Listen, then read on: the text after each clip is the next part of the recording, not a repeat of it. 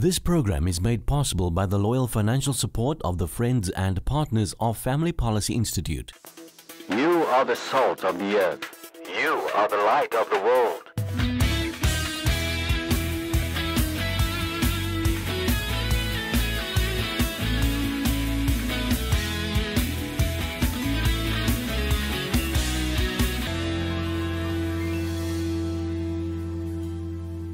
Good evening and welcome to the show. I'm standing here at Lebone Village just outside of Bloemfontein. And we are here to talk to Avril and Willem Snyman about the incredible work that God is doing as they take care of destitute and vulnerable children. This is an amazing place. They're growing food here, they're doing all kinds of things, which is very inspiring. And, and, and we came out here to inspire you to see what two ordinary people that put their faith in God can accomplish by just trusting God with the results. So hang around. We're going to be talking to Avril and also to Nathan Pillay, who is the chairperson of the board of Le- Lebone Village. So Avril, this is an amazing place. We've seen inside here the, you know, uh, even the press clippings of what Lebone Village looked like. The little house, uh, the, you know, just the, the humble beginnings of this great work and what God has been doing is.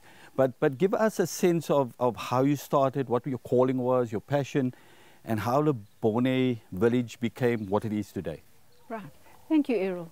Um, in 1997, God gave Jane Rist the vision to care for children who were left behind after their parents had passed away due to HIV and AIDS. And um, they tried to get something going to care for those children, but in they didn't get very far, and in 2000, God called me to get involved with them. So on the 12th of January 2000, I said yes, I would join them, and in May, we opened our first little house for 15 children. We did it in the old Bloemfontein prison at that stage, and um, it was a two year battle getting the government to accept it and the children to get into us, getting registered, etc. But God was amazing. The way He just opened doors and everything worked out. So, so you started in a prison facility, you were using that and beginning to get destitute and vulnerable children into what was it called Lebone Village then? When no, it was, it was called prison? Lebone House. Lebone That's House. where we started. Okay. Yes, if I can backtrack slightly, everything that we're doing here started because of a need. And we have five sections running today, but the very first section was Lebone House. That was the first need, addressing, looking after children affected and infected with HIV and AIDS. Okay. So in the old Bloemfontein prison, we look at Lebone House was, where we rented a small little two-bed, two-roomed house, and we cared for these children. Mm. And then the second need that arose was when the first child, one of the children we had there, had to attend school. No school would accept her because she just had never had any school readiness or anything. She was behind in everything.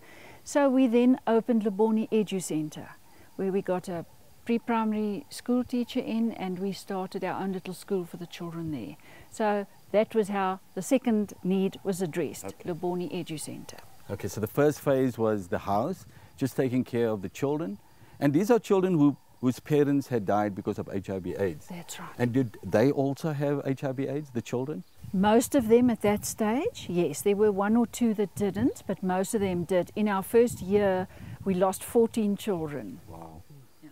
yeah. And, and the medical needs, how did you take care of the medical needs of these children? We were very dependent on volunteers. Um, the clinics at that stage still had some stock, so they were able to help us in certain ways, but our biggest help came from volunteer doctors who would look at the children and provide the medication. Amazing. So that was your humble beginnings then, and if we can just walk, um, you know, this is the, the entrance of Lebone Village here uh, outside of Bloemfontein, and uh, Nathan has been hosting us, Nathan being the chairperson of the board of Le Village. Nathan, how did you get involved and why did you get involved? Um, uh, we, we run a business in Bloemfontein for the last um, 18 years. and as a business, we wanted to have an impact in, uh, in our sphere and, and contribute towards the community. And I think about 10 years ago, I got involved in Lebone on the board and just to to sit on the board and help where we can as a business, and that's how that that's where we got involved. yeah. Wonderful. And and if you look at, at the village today, and we, we, we're going to take you right around as Avril and Nathan gives us a tour of the village, we're going to show you from that humble beginnings, which is a, a, a unused prison. How many years ago again was that? Uh, 17 years. 17 years ago, an unused prison, the uh, Lebone House started taking care of kids. From there, there was a need for education, and then the um, Lebone Educare uh, was launched. And today, with faith in God uh, and, and people like Nathan Pillay coming on board and helping this thing, as God has done such an incredible work here. So just go with us. We're going to show you uh, a little more of, of what, what God is uh, the work that God has established here at Lebone Village, which is a true testimony to the faith of one ordinary couple, Willem and uh, Avril Snyman. So, Avril, this is such a wonderful testimony of God's grace and provision. But tell us how you come to this property. You started in the prison, and now you have this wonderful property with so much going on. How did you get this property? Okay, Errol, I can, it's, it's truly as I see the hand of God, how He had the plans for this, for the Mm. extended vision. And what happened was in 2002, things couldn't have been worse at the old prison where we were. Um, the, the sewage system wasn't working, it was pumping up all outside. There was a Satanistic group moved into the cells of the prison and they were very threatened by us as a Christian Uh, organization. Organization. Wow. and then we got a little girl. She was 18 months old. Her name was Naledi, which means star. It's a Sotho word for star. And I believe God sent this special little star fulfill his plans because we had a visit from the MD of Maersk Sealand in Cape Town who wanted a, a children's choir to perform at the opening of the Bloemfontein office. Are you talking about Maersk Sealand, the container shipping company? That's right, yes. Wow. And Peter Ehrenreich flew up the day before the function and wanted to see where the choir was coming from, and we took him to the prison. Well, I thought it was a disaster because it was the worst day ever with everything going wrong there. And he, we walked through and showed him everything, and as he walked into where the children were, he saw a lady lying there. She was full blown AIDS, very, very sick. And we couldn't, you couldn't hold her. She was, you know, in so much pain. So she was in a, one of these baby chairs on the floor, and he looked at her and he fell on his knees and he started crying. And this is the, this is the MD of, this. of yes, this global uh, company. from Da- Denmark, yes. Wow. And I was a bit uncomfortable when I saw the tears in that, and he just looked at me and said, You know, I've got two beautiful daughters, and I see this. I am Can, can so I ask you something? Was this man a Christian? No, No. Wow, look at Yeah. that. yes. And um, that night at the function, he called Willem and I up and he said, He has never been so touched by what we're doing. Um, he would like to donate towards, from Maersk Sealand, towards a property of our own. And we came out, we had identified this property before, but we couldn't afford it. And we had told him about it that day because he asked what the options were. And they gave us the money that night to buy this property. Just like mm. that. Just like that. God intervened. Absolutely. A non-Christian man comes in, Yeah. is touched by this this image of the sick child, Yes. and God provides just like that. That's right. And, so God's placed you here. Mm. Absolutely. And and you know, um, Naledi passed away three days later, peacefully. And I really believe God sent her as part of His plan. She she died in dignity. She had love around her, but she was the tool as well. As a- She was the seed. things. That's know, right. She was the seed that was planted to produce this place that is helping so many other children. Naledi, That's what an incredible story. Yes. So we're going to see a little bit about you know the food that you're growing here. Some of the people that work. You've got the children's village. You've got this wonderful place, this building here that I'm not quite sure is, but we're going to find out. So please continue with the tour. When we arrived here, the first thing my husband said, who has grew up on a farm, was, "Wow, look at all the place for producing vegetables." Yeah. And because food is a big problem, we're so dependent on donations, etc., and we had children to feed, and the extended families that we used to care for at their homes. He immediately started. So that was the third section of Lebone the agricultural section. Okay, so the first was the prison, the house. The second was the educare. Now we on on food production. Yes, so we start that.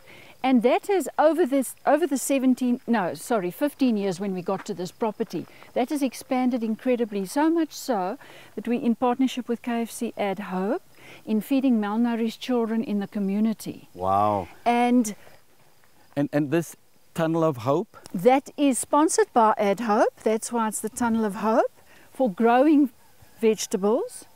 And the tunnels are better than the open land because we can extend the season and we can produce so much more. So so what are you growing in here, Avril? At this stage, I think it's the beans and tomatoes that have been planted for winter, but we have uh, pumpkins, butternuts, spinach, beetroot, carrots, tomatoes, onions. Wow. Um, and and all of this food is self-produced and it goes towards feeding the children. Yes. Are you doing more more than Yes, we do. We, we, we feed our children first, and then we give out um, food parcels monthly to 574 families and 1,402 children in the community. Sure. Say that again. 574 74 families. You're feeding out of Out what of you're growing out of here. Village, yes. Wow. We do we do also get some donations that come towards it, and of course with KFC's funding, we're able to buy the mealie meals and the that type of thing. You know, So so so KFC is just giving you funding yes. for food for, for feeding um, malnourished children, and that's how it happens. Um, we work very closely with the Pelonomi Hospital Pediatric Unit. Okay. When the children are um, discharged from hospital, they refer to us. We've got a clinic on the property where the pediatrician and the dietitians from the hospital come monthly to check the children. We then give them formula. And how the food parcels started actually was we were only looking after these children, these malnourished children. Till uh, the, the doctors picked up that the children weren't gaining weight. And when we started investigating and doing home visits, we realized there's a mother with this little sick baby, but she's got four or five other children. So she was spreading the formula amongst all these children. And that's why the baby wasn't making progress. And that's how it was the birthing of the Food Parcel Project. Because now we feed the children as well. You know it's incredible as you're telling the story, Avril and Nathan, is that it's almost like every time a need arises, then God just gave a mm. you know this wonderful solution to it. Always. And and it's and it, what it sounds like, and just correct me if I'm wrong, is that when God provided, made a way for all these things, that it just it's not only for Lebone Village, it's extending beyond that. Mm. And what God has given you here is helping the children here, but also helping mm. outside of the walls of That's Lebone right. Village. Yes, it's, it's, we, Isn't we, God amazing? Amazing. Only he could have done this. Uh, we couldn't. We didn't have the financing. We had, didn't have the hands. We didn't have the people. But he sends his people. But ca- can I correct you there? You see, God can do it, but if He doesn't have the hands and the feet, if He doesn't have the people willing to say, Here am I, Lord, use me, and to take the risk like you and your husband did, and come out here and do all of this. And people like Nathan Pillay, a businessman that will come on board and say, I want to help you, I want to do this, then God cannot get it accomplished because He doesn't have the people to work with. So when you got the willing hands like you guys, and there's amazing things that, that God can do, and we're seeing it all around us here, but because of faithful people like you. And, and that's why we want to encourage people out there and say, look, you know, it might look impossible, and I, th- I think you said it a couple of times when you started uh, trying to get the property, all of that. You said it, um, but you stepped out in faith. So, so we've got the, the tunnels here, the food tunnels. We've got KFC helping you, um, and then of course, you know, the workplace over here. The, t- just tell us about those. Right. Um, it's also everything's got a little story here. Yes, and we want- that we want to hear the stories. Okay, and that was our fourth section, the Lebone skills section. What happened was, um, I found out soon after coming to this property, we needed to build a place for the Edu Centre, and the DG Murray Trust in Cape Town provides funding for education. So I put in an application to them for the school. And when um, Nikki Miller flew up to come and assess the project, she looked around and uh, Willem was busy teaching a man to weld in a little, just a piece of zinc over a structure there. And she looked at me and she said, How does he do that? So I said, Well, we've got no other facilities and we've got to treat, teach people.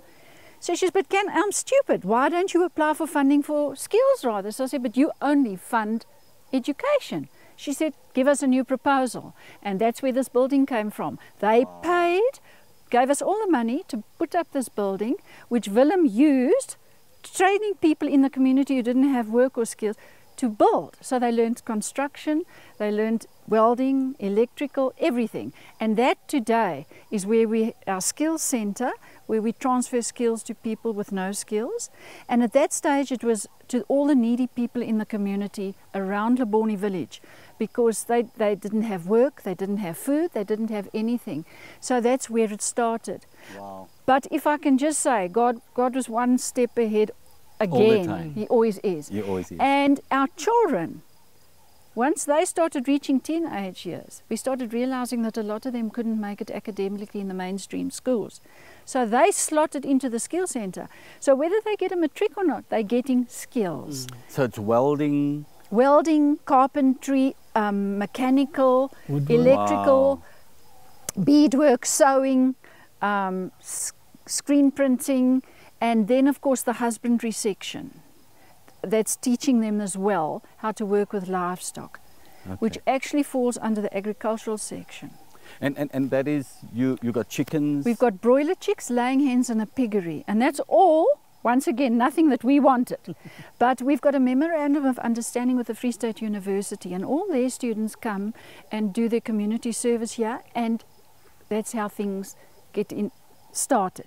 And what happened with the husbandry, those um, was the head of the agricultural department approached Willem and said, "Look, we would like to train people in the area how to do broiler chickens.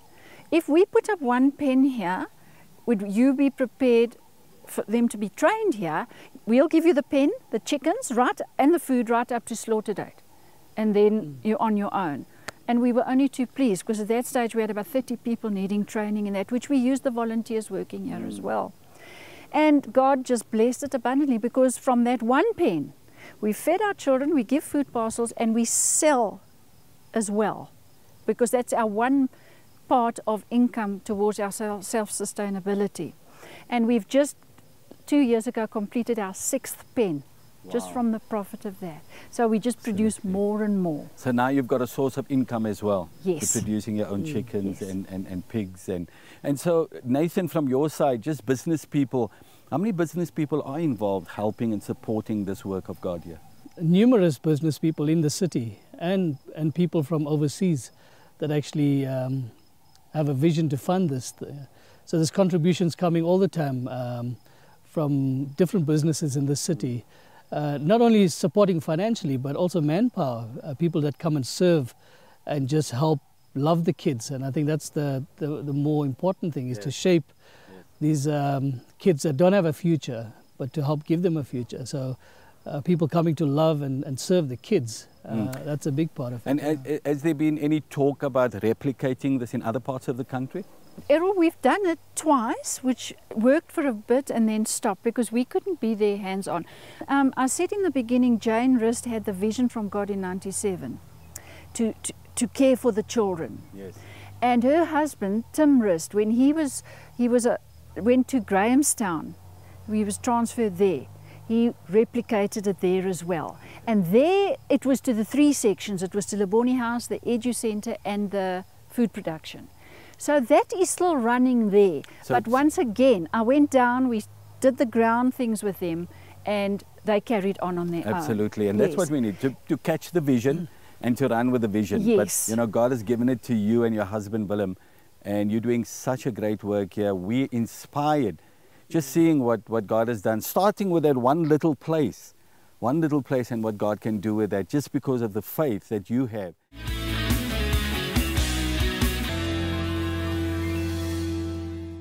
Our last section, our fifth and last section, is our social support section. Okay. A lot of the things I've spoken about fit into that with the food parcels, etc. But we work with Department of Home Affairs as well, where people in the community who come here need to get IDs, birth certificates, etc. Okay. But this is now added onto the social support section. As I said in the beginning, the University of the Free State is very involved here, and they approached us. They had funding from the Flanders government to come and teach people sustainable living in South Africa, to build with waste, to use waste. And that's it's, this building this here. is it. An entire building built out of waste.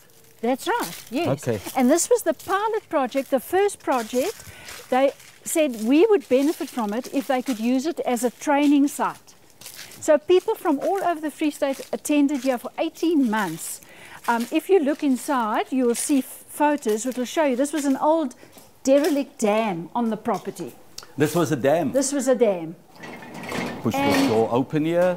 So this was a derelict dam. Yes, that could do nothing, that was standing on the property. And this is where they decided to build. And it's all built from waste 1,200 tires, Wow. hundreds of thousands of bottles, as you can see. And our children were very involved there because they were told, and the children that came from the Free State, a lot of children's homes were involved to teach them as well, to collect rubbish, papers, anything. And the bottles are filled with all the rubbish they picked up. And it's really, it's replicated all over the Free State. They've built one of the occupational therapy, one of their clinics, they've built a play set, eh, place for the children, all from the training that was done here. Wow. And so derelict dam using waste and discarded material, and this is what you built. That's right. We have scored amazingly because we now have had a, we've got our own coffee shop in here, where we mostly This over here. yeah, there and shop. here with a kitchen.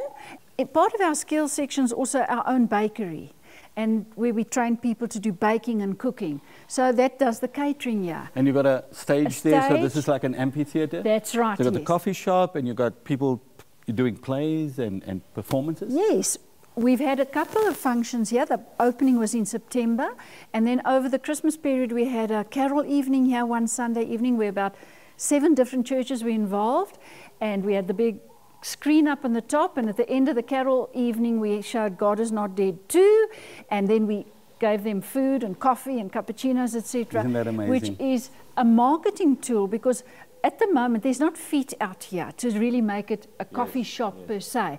But a lot of the churches, local churches, um, get, bring Bible study groups out here, keep do a little bit of training sessions, etc. And that is It what it's like about. Yes.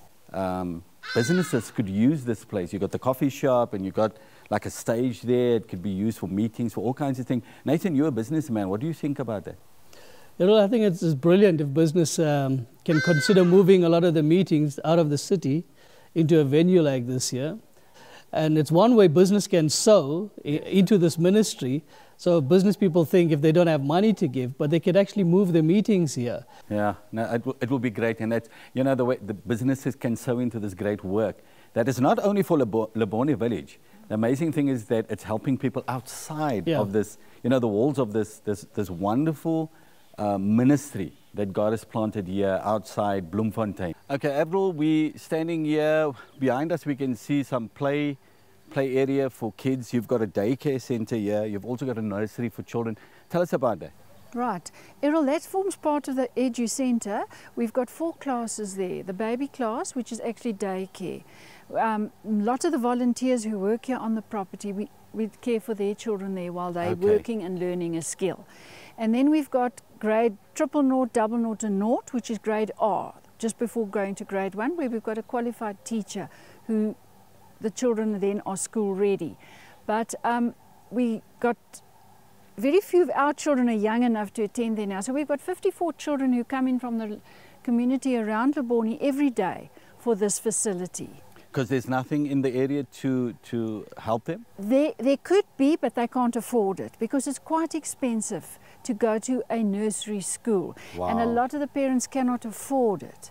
So they So you guys are providing the service right here at Lebone Right here for them, yes. Okay. And these children, even though they've got family and they sleep at home, they've still got the benefits of the Lebone children in as much as they get three meals, they get medication if they need it, if they need clothing, they get it. And then some of the parents have got jobs, so they're coping. But those who haven't got work, they then also get a food parcel once a month for their to take home. So how do you finance all of that? The feeding, the, the tuition, all of that? Right, funding and, and fundraising. Um, we don't get any government subsidies or support at all. So everything we do comes from funding. And if I could just steal a little bit of time and tell you, in 2004, we had a very wonderful chairperson on our board named of Bernard Yowett. And we were in severe financial trouble. So much so that I went to board meeting on Monday night and I said, We're not going to make it.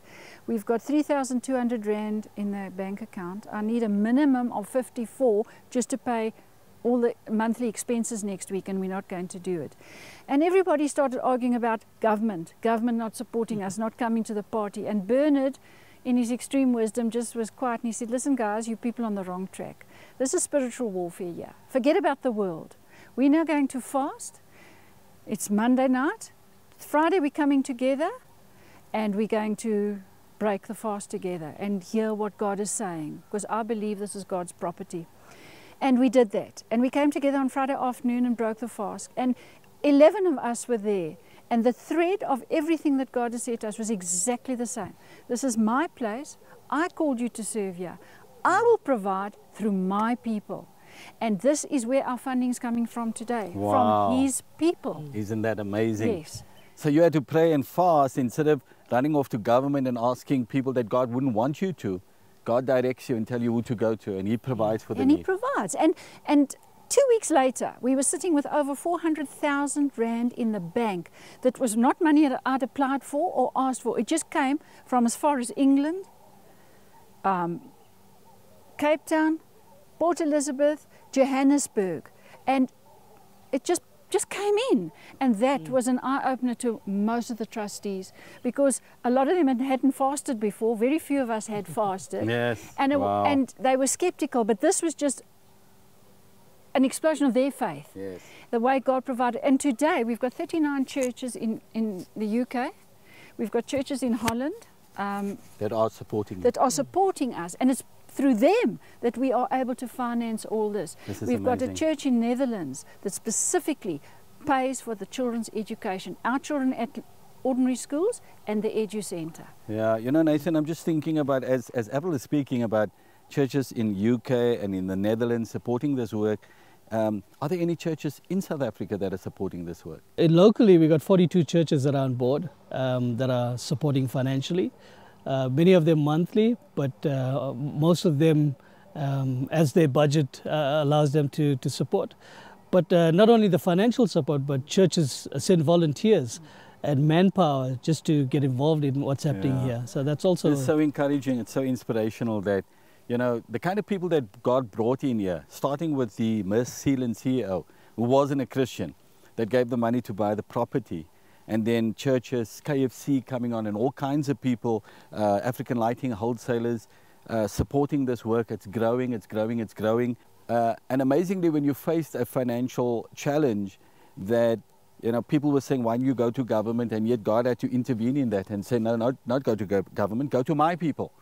Uh, God has called his people to support work like this. And I want to repeat that I am so inspired just listening to your story. Uh, you're feeding people outside of here. You, you, you're teaching people skills so they can take care of themselves. All of these things has been done right out of this place, but you're facing a challenge. And we're walking towards the gate, which is the entrance of Lebone village here. And you said that you've had some break-ins. Tell us about that. Right. Our biggest challenge with the chickens, especially in the pigs, is is stealing. They break in. The, we've only got a barbed wire fence around you, so they cut the fence and they come through. And at one stage, uh, they were stealing our chickens that we were running at such a loss. The pigs. That it was terrible. Then we decided to put up a bit of devil's fork with funding we got and a gate. But the motor was stolen now again for the third time. And Okay, so the motor of the gate was stolen. stolen. We had, you see, we were worried about security of the children and staff on the property. Yes. So we decided that the motorized gate is the best option for them coming in and out, Yes. especially in the dark. But as I say, after the third theft of the motor itself, no matter what we do to secure it, they, they, they come in here and they get it out. Okay, so then to to if you put a motor on this gate because you need the motor, what is the the, the best way of securing the entire village? Okay. The, per, the perimeter of the property is 1.7 kilometers, so we have to put up a security fence. Security fence. Yes, because um, the gate is, is, is security for the staff and children, but the fence is the Okay. security for the property because Okay. the present fence, they just cut it. So you need a proper security fence. Did you get any quotes perhaps from companies that can do that and what it would cost to to secure this entire property, the Lebone Village? We did. We, we, we got a couple of quotes. The, the proper security fencing that they can't cut anymore, that's 2.1 million. 2.1 million. Yes. If you just go for plain Devil's Fork, as we've got around the gate here, we've just had a quote for 1.6. But, But that's but the just- best thing you- for you Is for the, that- p- is, is to protect the children, the property, the, the pigs, the, the chickens, uh, Our the produce, resources, all of that. everything, yes. And, it, and it's so necessary, um, Avril. It is Yes. so necessary uh, what you're doing, the impact of what you're doing in this, in, in this place, uh, in, in the surrounding communities. Uh, is just amazing, and you are the hands and feet of Jesus. And I, I am convinced there are business people out there that can give you the 2.1 million, whatever you need, to put this proper fence around this this property, uh, so that this this work can prosper. I think every Christian out there watching this must be saying, yes, we want this work uh, to prosper here outside Bloemfontein, but not only here, to be replicated in other parts of our country because it's so needed. There's so many children, there's so many destitute children that need the help, that need the education. There's so many people that need life skills training. And God has given you all the resources to get the job done, but you're standing here vulnerable your motor of your gate has been stolen a couple of times. The pigs and the chickens have been stolen, and you're using that as as as income. you're That's selling these things and bringing income and so feeding that the children. and feeding the children. And here we are with this.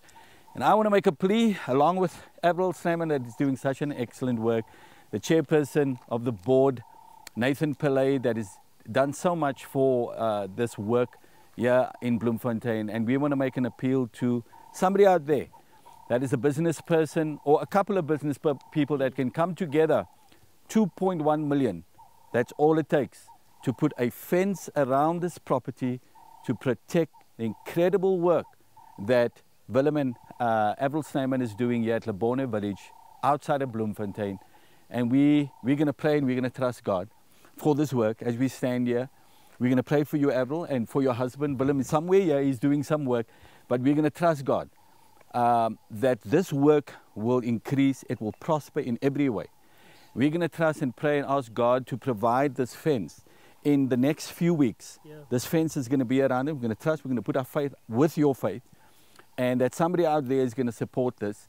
And that this work and what you've done here, the, the, the template God has given you, is going to go around the country and it's going to answer to the need of people, the real needs of people, because I believe that is, you know, the work of God is ministering to the needs of people. As much as we can preach and do all of the things, when we minister to the needs of people, that's where we're doing the work of Jesus Christ. So, Avril, in the name of Jesus, we pray for you, myself and Nathan. Lord, we, we bind our faith with Avril and Willem Snyman. Mm. We thank you, God, for the work that you've birthed here, the Yes, work you're doing in this beautiful, tranquil setting.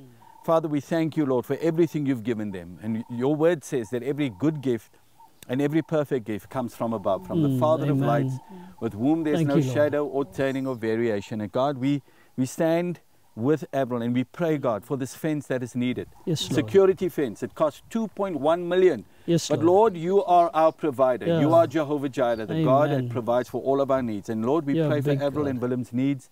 We pray for the needs of Lebone Village. We, Lord, we cancel every attack on this, this wonderful Lord. ministry, every theft. Father God, we pray that you would put a hedge of protection Mm, protection thank around you, it. Father. And Lord, that you would protect this work, that you would grow this work, that you would prosper this work, so that it would go all over this nation, God. Yeah, so thank that the you, needs of children may be met in the name of Jesus. Not only their physical needs, but their spiritual needs. Lord, as the love and the gospel of Jesus Christ comes to these young people, they will grow up in the knowledge of God. Mm. That is Yes, the Lord. primary focus here, Lord. And so, God, we pray for this fence. 2.1 million, God, that you would send people that would give this, that would erect this fence around this property, that this ministry might prosper in the name of Jesus. Thank you, Father. Lord, we pray your anointing and your blessing on Avril and on her husband. Father, may, the, may this work grow, may it replicate it all over the country. And so, God, we just thank you. We thank you for Nathan Pillay, for his business, as he supports this work and get other business, uh, businessmen in the area to come and support it, Lord. We just thank you that the work you, of Jesus Christ will prosper um, in every place that it is planted in the name of Jesus. Thank you, God. We thank you, God. Amen. Amen. Amen. Amen. Thank you. Amen. Thank you. Thank you. Errol. God bless you. Thank you.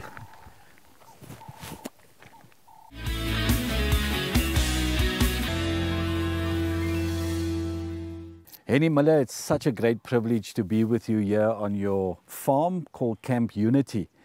Now, Hennie, uh, you're a businessman, essentially but I see you as a marketplace ministry, minister because your focus uh, appears to be advancing God's kingdom, building God's kingdom.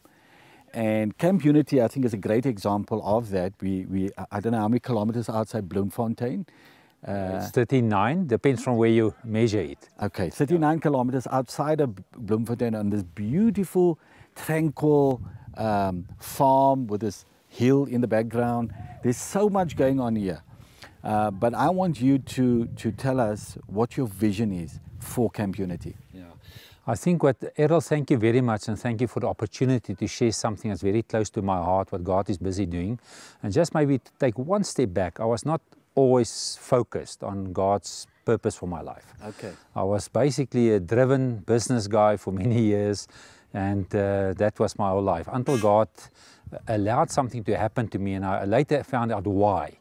Just down here, there at the gate there of Camp Unity, I was driving one day with the motorcycle and I was, it was a lovely day and as I jumped over a little hill, the front wheel twisted. Okay. And I was not concentrating, I was not holding it strong enough. And I had an uh, accident where I lost consciousness. When I woke up, I didn't know who I was. I didn't know uh, where I was. I was totally lost, like a big black hole. But I felt something was wrong because I was able to put my tongue through my lip here. My total lip was cut here. My arm was broken, I couldn't use my arm. So for some time I was uh, totally out of it until I eventually found my wife and I asked my wife, does she know where I am? And she made a joke. She said, you're supposed to know where you are. But uh, eventually I ended up in hospital. But the beauty out of that, and that's why I believe God allows everything to happen for a purpose. I'm a strong believer of that. And then eventually I had a lot of interaction and talking to God through the Holy Spirit because I couldn't sleep in the nights. And one night I remember so clearly when I asked him again, why did this happen in my life? Because I was not really mobile, my arm was in a sling and I couldn't sleep. And then I heard so clearly, I can hear it like we're standing here. God said to me in an audible voice, He said to me in English, He said, I've slowed you down so you can hurry up. And I asked God, now, what, what does it really mean? And then He made it very clear. He said, I've slowed you down in your world so you can hurry up in my world. Wow, that's profound. So that's the that was the beginning of the seriousness to get serious with God's work because I know I would not live forever. That was part of my revelations I got. I thought I'm going to live forever. Mm. And now I suddenly got a sense of urgency because I know that life is short, even if it's only maybe 80 or 90 years, mm. depending on how long you live. So, so to summarize then, so Hennie Muller, you this businessman chasing success, more money, more business. And then you have this accident on this farm with yes. your motorbike. Yes. Lose your memory.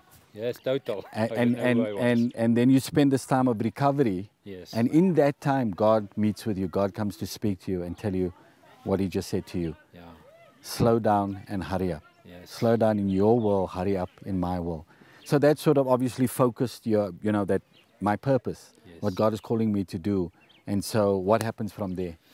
Uh, from there, I really spent more time because I suddenly understand that I've got to be led more by the Holy Spirit and not by my own thinking only and my own thoughts and my expertise or my experiences. So we bought this, this farm, this farm on this side, that's called Arundel. Okay. We bought this farm in uh, 2006 from a farmer who was leaving South Africa with no hope the previous owner had no hope and he just he went to Australia. He wanted to do nothing with South Africa anymore. We bought that as a weekend place and we came down here. We got a lovely river down there. We'll probably look at that a little bit later. And we started to dream what God wants to do here. And then uh, one day, me and my wife were sitting in that copy under one of those trees there. And we said, now, if we want to develop a youth training center, uh, how we do that down at the river? And then we looked over at this premises next door here, that's another farm belonging to another owner, and we looked at the building at the back there. We said, gee, that would be a lovely place to have a, uh, a youth conference center. And by the way, the next day, if, when I talked to the owner, I say, are you considering one day to sell? He says, yeah, actually yesterday we started thinking of selling this place. Wow. So I don't know why, but obviously God's got a reason for that. And we bought the place and uh, from that we started with the vision. I think the vision evolved over time all the whole thing was not clarity from the beginning, but we knew from the beginning it's about youth, it's about training them, new leadership for South Africa. That was the core message we got from that time. But the vision God gave you immediately was young people, That's youth. true.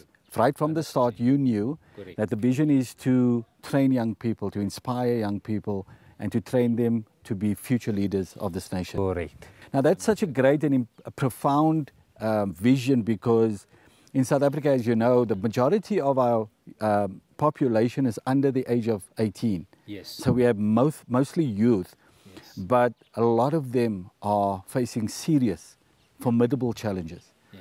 Uh, many of them are unemployed, Yes. are getting involved in crime and violence and drug addiction and alcoholism and sexual promiscuity and all of these issues. Yes. And we as a church, we as God's people need to put the focus on young people. Otherwise, we're going to lose this generation.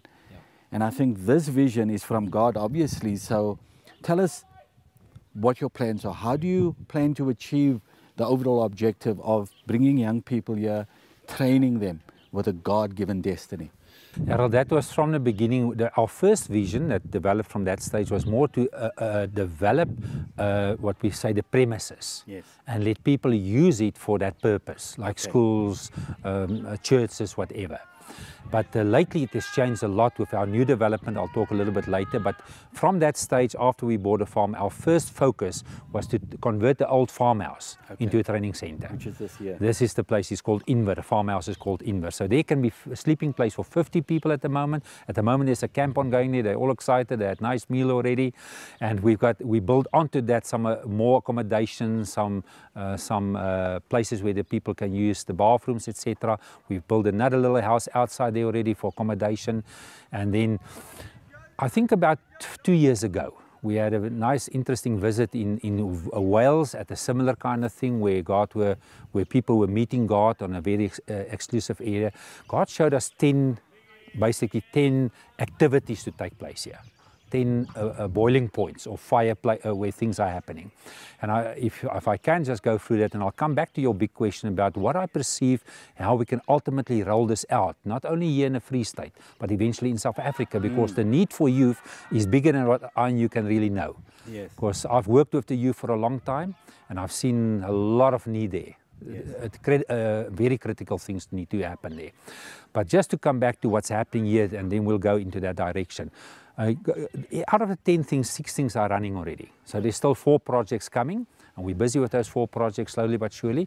But the first one is the old farmhouse. We're happy with this. It's running properly. We've got a lovely couple here, Henry and Twani Furi at the moment, managing the whole place here, and people love them.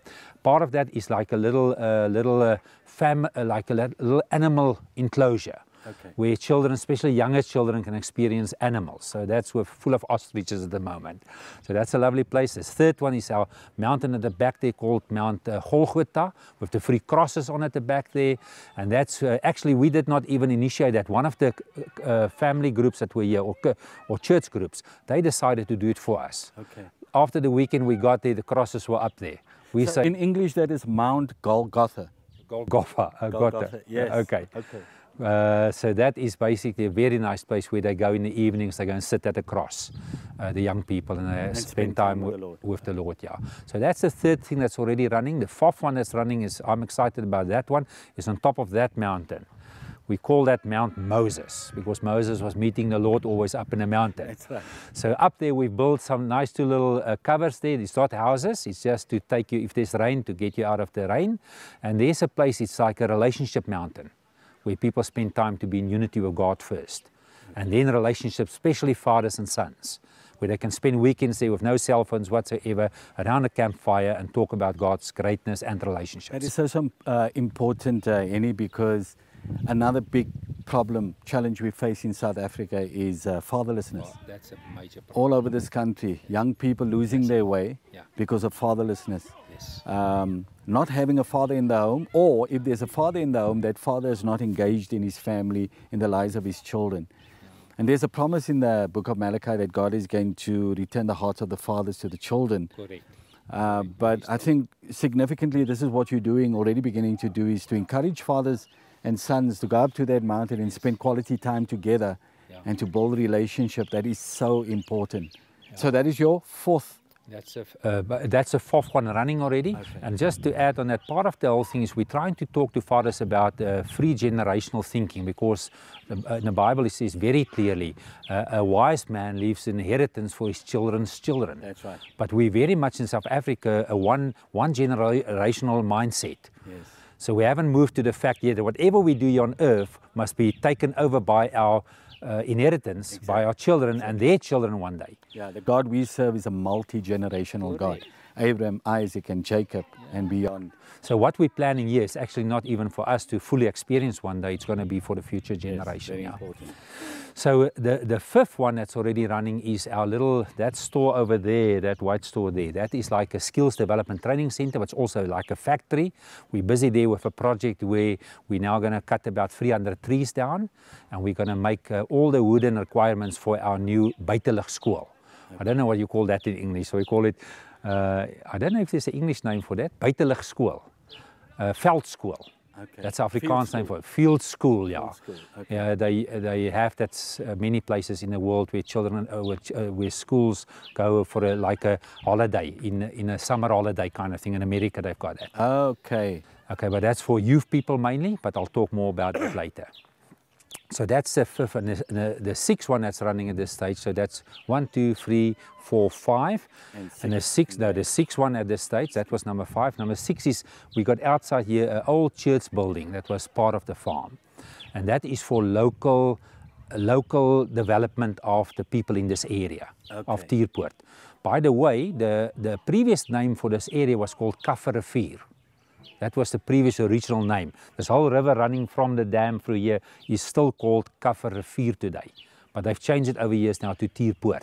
Okay. So it's quite a, a significant thing to see what's happening here at this area. But that's for local development. We had a soccer team there, there's a church there, a, a creche, and a, a shop. So those things were basically, it's a vision of that to serve the local community. So that's the six things that's uh, according to us running at this stage.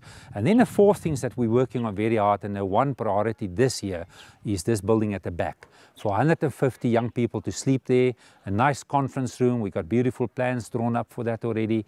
So we're very excited about that. By the end of this year, it should be finished. So the year 2017, that should be open and Fully running. functional. Full, fully functional. Now, Hennie, it's such a great vision because it's so needed again uh, Yes. in this country. And even as we speaking here, there are some young people there having some uh, uh, festivities or uh, just uh, playtime. Yes. Um, I'm just looking around this place and I'm thinking about people, uh, young people that's been in drugs, uh, been in gangs, and if they're taken out of that, they obviously need to be taken somewhere Yeah. where they can be in a tranquil surrounding, a safe place, where they can find themselves again and where they can find God, where they can spend time with the Lord, where healing and restoration can take place. And this place obviously serves that purpose because it's it's far outside of the city of Bloemfontein. Yes. It's in this tranquil area. You, you have just about everything going around. Yeah, I see you even have some vegetable farms on the side there. You, you, you, you, you're growing vegetables.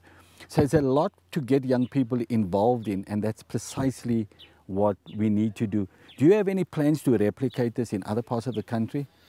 That as I start talking to people about what we're doing here, I hear there's a lot of need right through this country. It's massive. It's bigger than what we can think of. And you're talking about the drug side, that's only one side. I think the, the biggest problem I see among youth is the fact they, they grow up without fathers, not, not even if the fathers are there, but the relationship. not there. So I, I see among young people a lot, a lot of rebellion. Yes. That's what's happening in schools today. They, they don't have respect for authority. They have respect for the family, for the they, they call them by names. And you can't give them hiding anymore because corporate punishment is out. And you can't really discipline them properly through that way. So uh, th- that's that is so needed, and that's going to be one of our focus points to ask the schools to send their top 10 rebels to a Yeah, camp. to Camp Unity. Yeah, yeah. And we've got people already, and it's amazing how God are putting together the speakers already, or the people who will train to them. So you're going to have all these these skilled people, these pe- people that God has given gifts and talents to Yes. come here and work with these young people that you're going to. And how, do, how are you going to draw young people? These these people that young people that need help. How are you going to get them to Camp Unity? We just in Bloemfontein area, in the Free State, there's many schools. So we're going to have different camps through the year. There's actually, in my mind, three camps we're going to do here. On this uh, weekend, we'll eventually be able to handle 200 people, 50 in this and 250 that side. So 200 and maybe if they have tents, up to about 250. Our conference room will be big enough for that. But the idea is to have uh, a coordination between all the schools, We'll start at varsities, but more the schools, the guys who are starting to leave school, and then to have certain camps planned what kind of topic we want to talk about. Mm.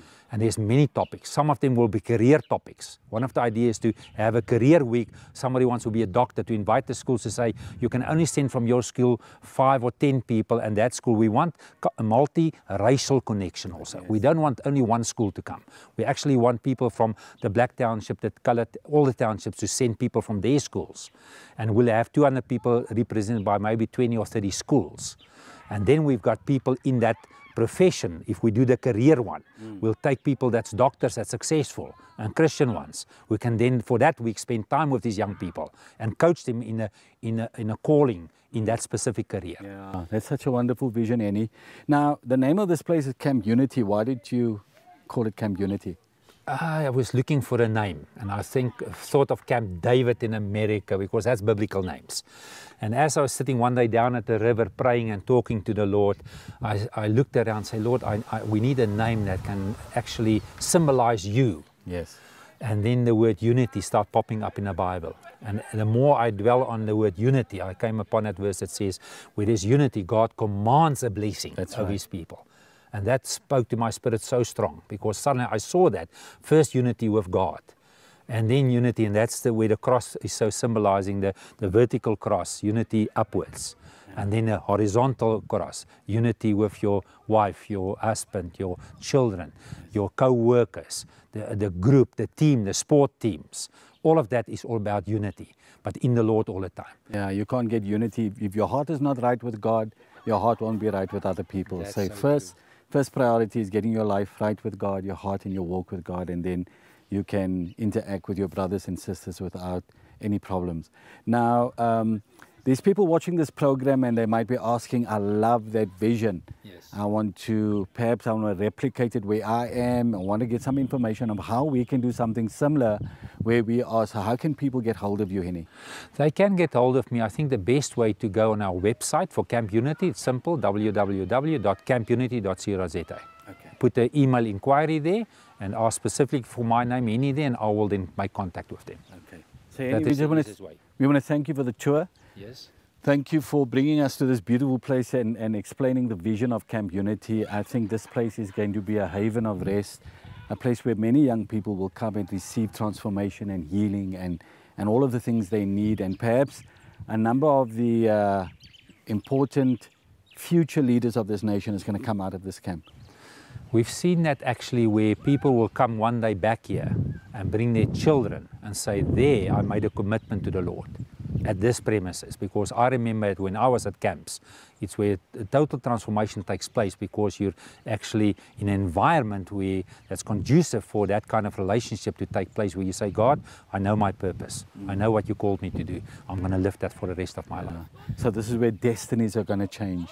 Yeah, New dreams are going to be formed yeah, at Camp Unity. But thank you for being the visionary behind it, for, for using your finances and the time and the energy and the passion to establish something like this and you're doing it for other people. It's not for your children, it's for other people's children. And it's for the future of this nation, and we need it so desperately. And Errol, what's important on that is that we don't see this only for Camp Unity vision. We see this for national vision. We like to take partnership hands one day with other business people or people in all the provinces in the country who's got similar kind of leadership, youth leadership visions. Yes. And we start putting together a plan of action, how we can transform the potential leadership into great leaders one day for South Africa in a political arena, in all fields of society where they can make an impact because the light that the Bible talks about, Mark, Mark 5, uh, Matthew's 5, is so powerful to say that we've got to be the light and the salt of this world. That's right. And I think that's the critical thing that my wife's got a very nice story about, but we believe in that. That uh, Christians should be seen as the light and the salt. Yeah. And they should make an impact wherever they are. And that's the ultimate goal that people who come from here go back in their schools, eventually in the adult world, in the universities, and they draw that kind of, they carry with them that image the whole time, the whole time that I'm, I'm actually the light of God.